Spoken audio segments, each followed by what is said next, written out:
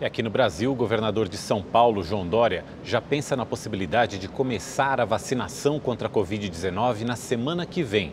Além disso, com a piora dos indicadores da pandemia, o Estado antecipou em três semanas a nova classificação do plano de flexibilização das, das atividades econômicas.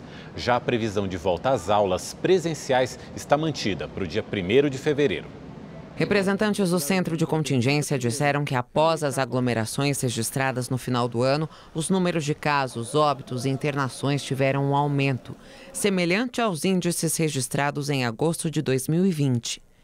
Por isso, o governo de São Paulo decidiu adiantar a reclassificação do Plano São Paulo para a próxima sexta-feira. Pela regra, a antecipação do Plano São Paulo só acontece quando há necessidade de impor medidas mais restritivas pela piora dos índices da pandemia.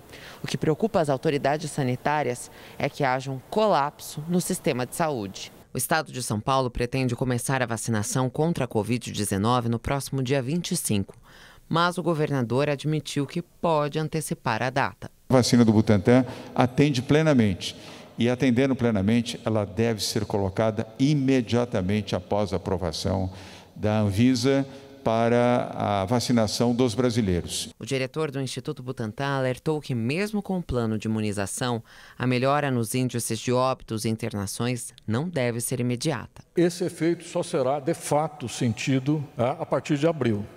Então, até abril, nós temos uma luta muito intensa contra a epidemia. Para que esse efeito seja perceptível a partir de abril, nós precisamos iniciar a vacinação em janeiro. Ainda em coletivo, o secretário de Educação, Rocieli Soares, falou sobre a volta às aulas presenciais na rede estadual no dia 1 de fevereiro. Ressaltou que os municípios têm autonomia para decidir pela retomada ou não mas precisam justificar a decisão com base nos dados epidemiológicos. Isso é uma decisão do STF que diz que eh, os municípios podem ser mais restritivos, desde que, obviamente, justificados. Mas o silêncio do prefeito não pode fechar escolas. Ele terá que publicar e dizer o porquê.